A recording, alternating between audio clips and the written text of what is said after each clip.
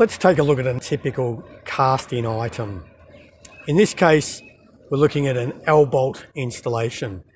Now, this is typical for, as you can see, a connection of four points. Where we're going to be using L-bolts or J-bolt installs, which only vary by the shape of the installed bar, where we're going to be typically using those is where we've got a, a base plate hold down uh, application. So anything where we want more than two bolts in place in the concrete, cast in, uh, and into sets of four, sets of six, sets of eight, etc. This becomes an ideal way to get a group of anchorage points placed. Obviously, one of the key benefits is being mounted about a steel plate we know that once cast in, the four fixings in this case will be absolutely set in dimension to each other.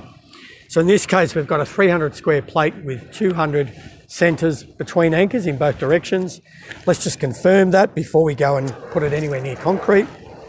300 square, 200 on the bolts dimensionally. So once we've got that cast in place, we'll absolutely have four anchorage points on a 200 square configuration.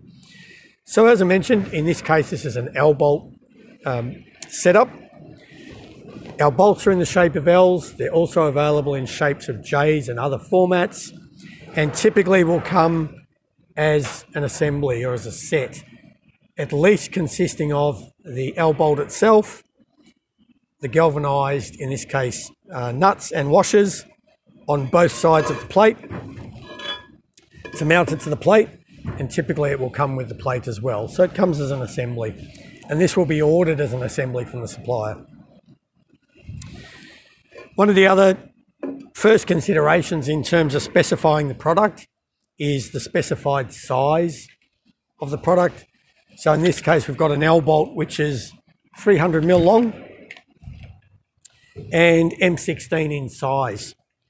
Some of the other considerations when placing an order for uh, L bolts or J bolts is going to be around the finish that's required. So whether it's a zinc plated finish for, in, for internal use or a gal or stainless type product, etc., or other exotic material, they should all be considered and specified directly with supplier. One of the considerations also for us in placing this assembly into our formwork is to make sure that we consider the need for any supplementary reinforcement as well. And that will be called up by the design engineer if appropriate. Now, a little bit dissimilar to some of the other cast-in items that we have uh, and, and are going to talk about, these configurations are typically only used for near face installs. So you can kind of see from this view why that would be the case. If we were trying to do this in installation or application in a far face install environment, we would have to try and accommodate the projecting bolts through the base form and deal with that in some way. So it's usually typical that we're installing them in a near face application and suspending them off form or off uh, bearers um, to accommodate them at the right height in the panel or in the concrete element. We'll move across into the panel now and just have a look at how we assemble it, position it, and get it set up ready for the concrete pour. So with the L-bolt configuration that we've got, what we need to make sure, obviously before we place concrete, is that we have the configuration set exactly where we want it in the form. We don't get a second chance once we pour concrete. Our four bolts, if we get it wrong, all four will be in the wrong spot. So let's just make sure that we've got that dimensioned off. Across to this dimension, we wanted 150 millimeters to our form, which we certainly do. Beyond that, we have another dimension which is from our form to our plate, which is 100 millimeters, which we do. That's all screwed in place to fix it in. The other dimension we need to check before we go ahead and pour is to make sure that our embedment depth is correct. Now in this case we needed 220 millimetres and that's certainly what we're seeing in this case. One final thing that we do is just apply tape on the threads.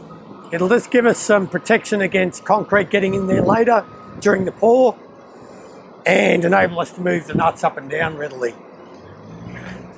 The other thing you'll notice we've done here is we've placed some form across our formwork.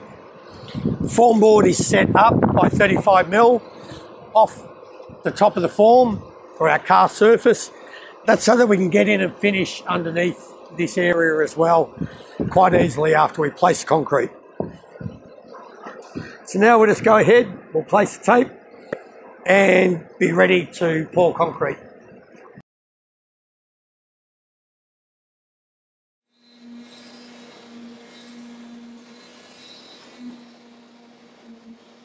We have L bolts mounted about a template, the template being of steel. So what we're assured of once we use this configuration is a guaranteed placement of inserts with respect to each other along a continuous line, etc. So a really good way to do sets. In this particular case, this would be an ideal configuration for picking up a, a base plate for a column.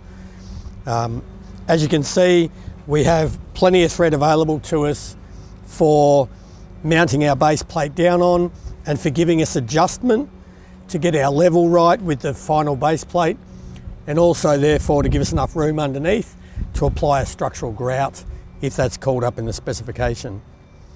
So just as a, a bit of a recap on the L bolt itself, obviously the critical factors around the L bolt are the size, so we're talking about typically a metric bolt of M12, 16, 20 and upwards.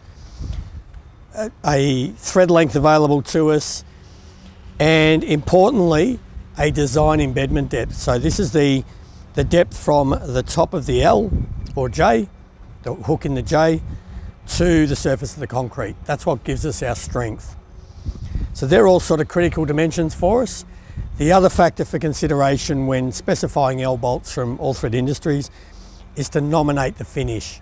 So whether it be gal, stainless or some other material type or finish type, that needs to be specified to suit the application. What we'll do now is we will strip the form away, our temporary support form away from our L bolt configuration and prepare it for the installation of a finished base plate. Now we have our four bolts exposed to us. What we'll do is we'll run off the, the four top nuts so we can get access to the underside.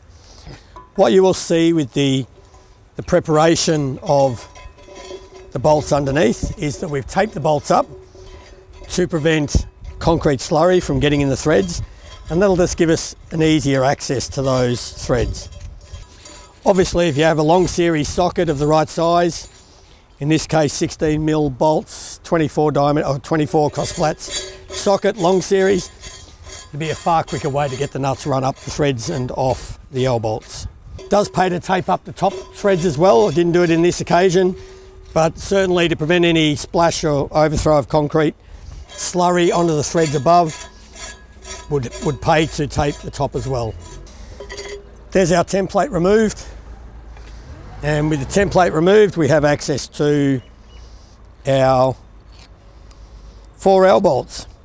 So assuming that if we wanted to adjust to a height off the surface of the concrete lower than existing, we would run our nuts down after removing the tape on all four, run our nuts down to the required height, drop our fixture plate on, make sure that that was level in both directions, this way and this way. Set our nuts appropriately with the washers. Drop our fixture plate on and then apply nuts and washers on top to complete the application.